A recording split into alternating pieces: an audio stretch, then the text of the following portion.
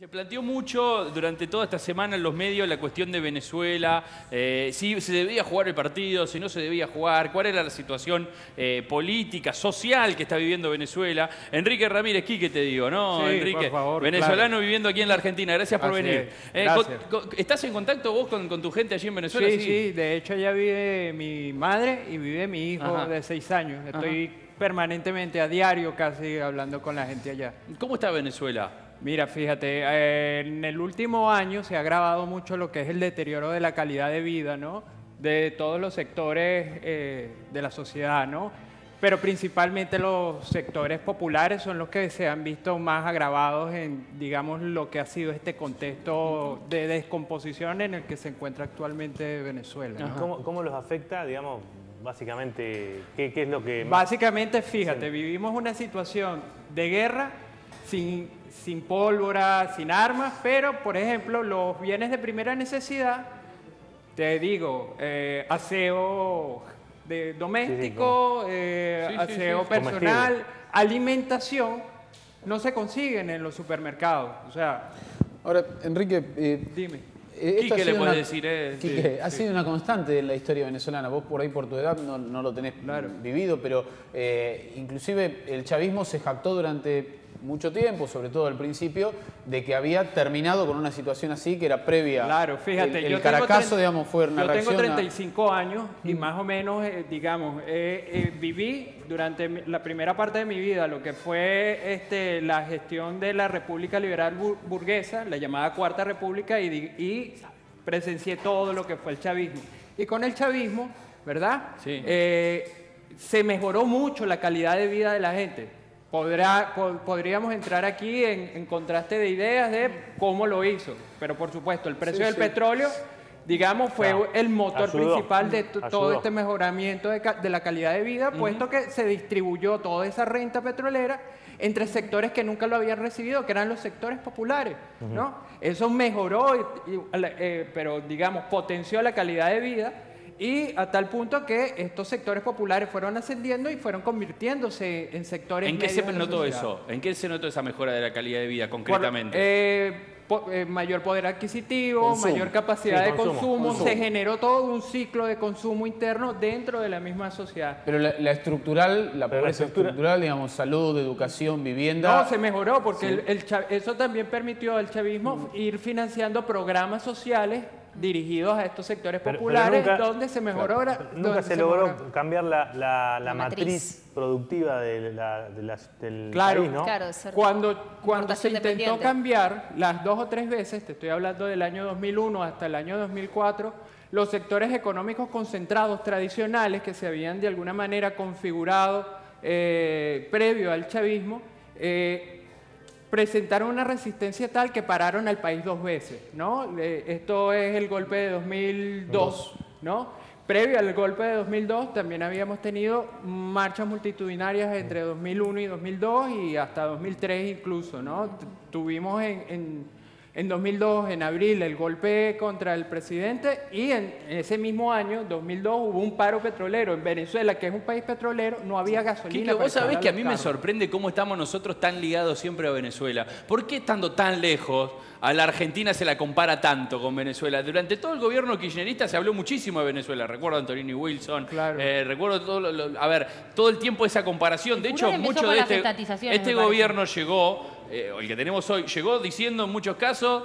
eh, no nos queremos terminar como Venezuela, digamos, Claro. ¿no? Es lo que decía, es lo que decía Macri. Sí, fíjate, eh, lo primero que hay que Sí. aquí eh, de alguna manera acentuar es que es imposible que la Argentina llegue a una situación en la que se encuentra Venezuela. Podríamos también conversar cuáles son los motivos para, para poder no eh, dar esa perspectiva. Bueno, Es brevemente, Kike, ¿cuáles son? Porque hay gente que todavía dice, "Est- hubiéramos terminado con Venezuela si no ganaba este gobierno. No, pero principalmente porque eh, Argentina no es un país importador ni de materias primas ni mucho menos de materias manufacturadas. Durante estos golpes de Estado que se dieron entre 2001 a 2003 en Venezuela, eso ocasionó que el gobierno tuviera que hacer una pausa para cambiar esa matriz económica que teníamos y debió de, eh, eh, se vio en la necesidad de importar productos, sobre todo de Brasil, ¿no? En ese, en ese sentido creo que el, eh, el gobierno brasilero fue bastante colaborativo con el, con el gobierno venezolano y, y luego, bueno, Es interesante escucharlo aquí que hablar. Entonces, Sí, Lucas, dale.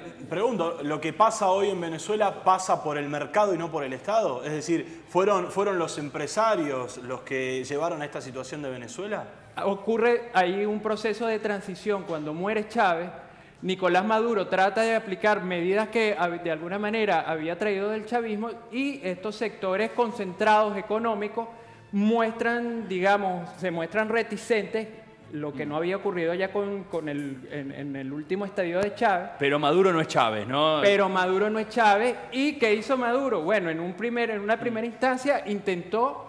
eh, Dialogar. No, intentó llevar a cabo las políticas de Chávez. Cuando siente esta tensión, siente el, el anillo de la ingobernabilidad, se retrae y directamente empieza a dialogar, pero además de dialogar, no quedó- posterga a los sectores populares. Lo que había sido el aliado histórico del chavismo, que eran los sectores populares urbanos y campesinos, él, él se los quita de encima como, como para mostrarle estos sectores económicos. Me encanta escucharlo aquí que digo, en este momento, no tengo mucho más tiempo y quiero más preguntas. En, en este momento hay muchos que están del otro lado diciendo, "Eh, este Quique es venezolano kirchnerista. Filo Kirchner. O no, ¿cuántos habrá ahora en ser, este momento? Pará, vamos, vamos, a- vamos a hacer una cosa. eh, para, para salir de eso. Eh, ¿Cuánto gana hoy un, un- un venezolano en sueldo en dólares? 25 dólares mensuales. ¿Por mes 25 dólares? Te cuento por qué.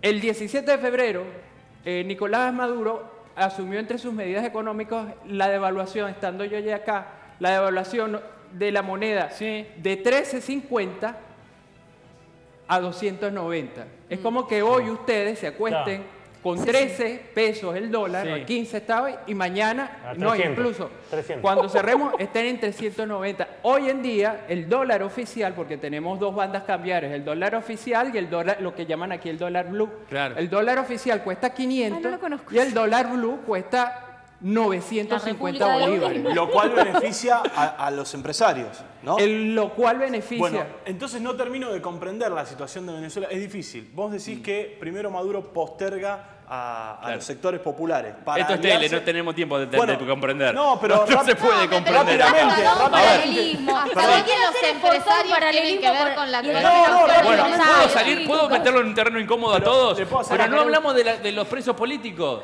Y, y todo el que está ahora del otro lado, que dice, este Quique es un, es un kirchnerista vene- venezolano. No, no, aparte se habla de dictadura. porque, claro, hay dictadura, hay presos políticos, No hay, hay todo. hay Y más pero hay muchos opositores Claro. presos, esto es un no, problema. No, en realidad hay ahorita un- eh, el gobierno, digamos, hay dos tipos de presos, lo que llamarían presos políticos. Está, por, por caso, Leopoldo López. Sí. La esposa de Leopoldo López fue a- al acto de, de Macri cuando ganó Macri y Sí, todo sí, sí, esto. sí.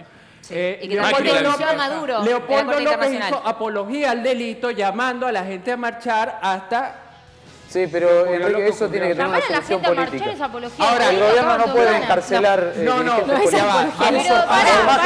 a marchar. uno, por favor, chicos, ya estamos cerrando. Me Perdón. queda un minuto, me queda un minuto.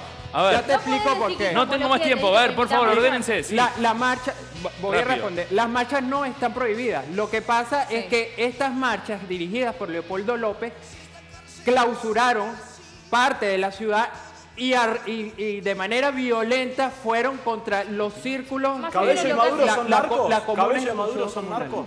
Narcos. ¿Cabello y Maduro son narcos? No, para nada. No, no. Cabello Porque y Maduro son Estados dos- Unidos los acusa de ser narcos. Claro, pero eso es, es lo que está tratando de, de colocar dentro del sentido común. Son, pueden, pueden tener este, a lo mejor acusaciones por corrupción. Ahora, narcos, narcos, no. Bueno, le si vos si, si tienes manera de Lo que demostrarlo. queda No, no, te lo marchar pregunto, es un delito acá de Lía. está- Gracias, Quique. Impecable, eh, impecable lo de Quique. Me gustaría que vuelvas en algún momento para Por seguir favor. charlándolo este tema.